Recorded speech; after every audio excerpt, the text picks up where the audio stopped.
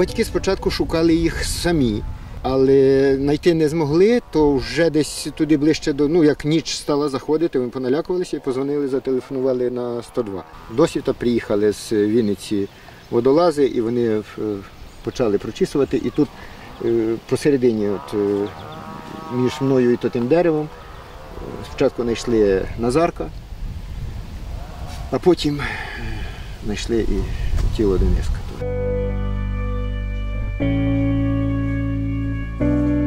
Служби порятунку про те, що зникло двоє дітей і потрібна допомога у пошукових роботах е, від е, підрозділу рятувальників. До нас надійшов 23 серпня о пів на першу ночі. Е, На місце події виїхали барські рятувальники. Вони проводили першочергові пошукові роботи, однак вони не були результативними. Зранку на місце трагедії було направлено підрозділ водолазів аварійно-рятувального загону спеціального призначення головного управління.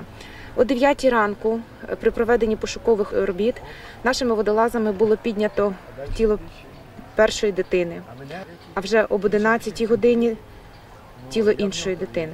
Нам дуже важко говорити про такі випадки, особливо коли гинуть люди, особливо це малолітні діти.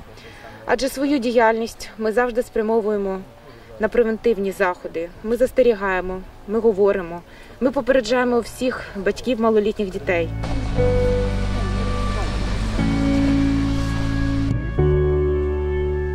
Я все їм про здоров'язберігаючі технології розповідала. Звичайно, як вести себе на воді. Саме головне в нас було, що не йти на водойми самому. Йти з старшими батьками, хто за вами буде дивитися, мілка наша водойма, глибока, не важко, топитися скрізь можна.